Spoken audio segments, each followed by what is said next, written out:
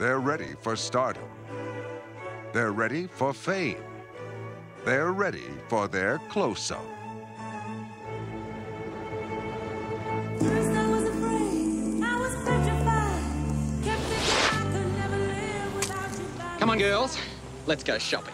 This is the story of three hard-working guys What kind of cabaret do you do? We dress up in women's clothes and parade around mouthing the words to other people's songs. who are about to discover Been asked to do a show out of town? How long is the run? Four weeks. that hitting the road is hard. I hereby christen this budget Barbie camper Priscilla, Queen of the Desert. especially in heels. Sorry. Along the way, they'll discover surprises, It's Gabardine! I haven't seen Gabardine for years!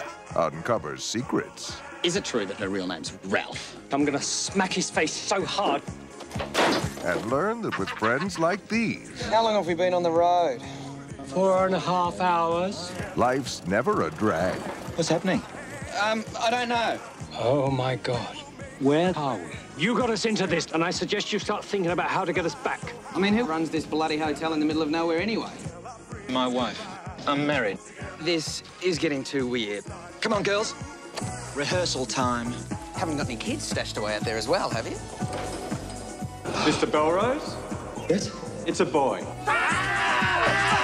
You actually make money by dressing up like a woman. Oh, sure. You can make a fine living in a pair of heels.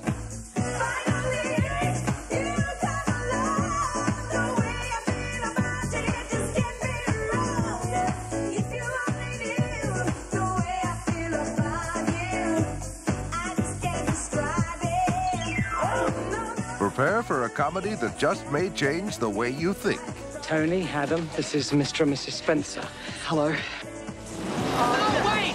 The way you feel. Who taught you to waltz? My wife? And most of all, Aren't we fabulous? the way you dress. How many times do I have to tell you green is not your color? The Adventures of Priscilla, Queen of the Desert. Um, do you have the Texas Chainsaw Mascara? Now there's a gentleman.